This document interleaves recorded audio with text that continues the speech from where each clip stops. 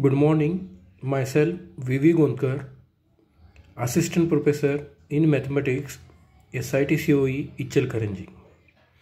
Today we are going to discuss the topic Fourier series.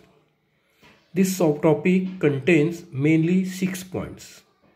Fourier series in the range 0 to 2 pi, Fourier series in the range minus pi to pi, Fourier series in the range 0 to 2c, Fourier series in the range minus c to plus c, half range sine series and half range cosine series. Now we will see the definition of Fourier series.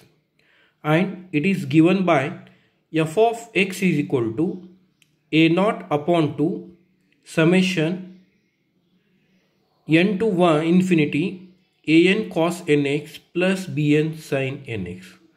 Once again I will repeat f of x is equal to a naught upon 2 plus summation n to 1 to infinity an cos nx and bn sin nx where a naught an and bn are called Fourier coefficients. So we can find the values of a naught, an and bn by using the Euler's formula. So here a naught is given by 1 upon pi integration 0 to 2 pi f of x into dx. an is given by 1 upon pi integration 0 to 2 pi f of x cos nx into dx and bn is given by 1 upon pi 0 to 2 pi f of x sin nx into. Now we'll discuss Fourier series in the range 0 to 2 pi. For that I will take one example.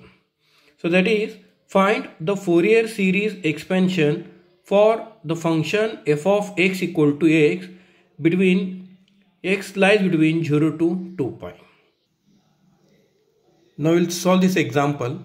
Here f of x is equal to x. First we will write the formula.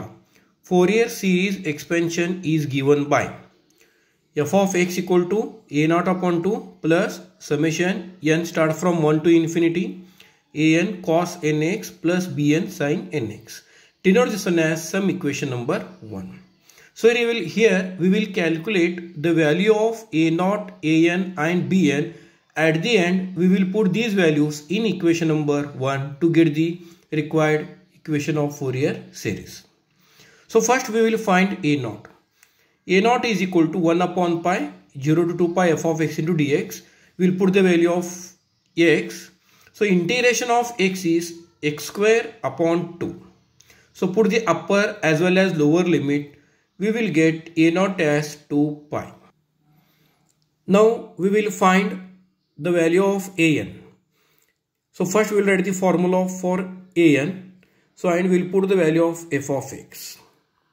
Here we are going to find the integration of product of two functions. And I will apply and I will arrange the terms according to LIATE rule. So here x is u and cos nx is v. And I will apply generalized by parts rule. So write this one upon pi as it is write first term x as it is integration of second one sine nx upon n minus derivative of x is 1 and integration of sine nx upon n is minus cos nx upon n square between the limit 0 to 2 pi. Now we'll simplify this one. 1 upon pi x n x nx upon n plus cos nx upon n square. We will put the limits so put upper limit as well as lower limit. We know that cos 2n pi value is 1 and sin 2n pi value is 0. So by substituting these values, we will get value of an is equal to 0. Similarly, we will calculate bn. So again, first we write the formula for bn and we will put the value of f of x. After putting the value of f of x, again we are having product of two functions one is x another one is sine nx we will go for generalized by parts rule. So write 1 upon pi as it is. Write first term as it is. Integration of sine nx is minus cos nx upon n in formula we have minus sign minus derivative of the first term x is 1 and integration of minus cos nx upon n is minus sine nx upon n square. And we'll simplify this one and again we'll put the upper as well as lower limit. We will get bn as minus 2 upon n so we'll put all these values in equation number 1 we'll get f of x equal to pi minus 2 into summation of n star from 1 to infinity sine nx upon n. Thank you.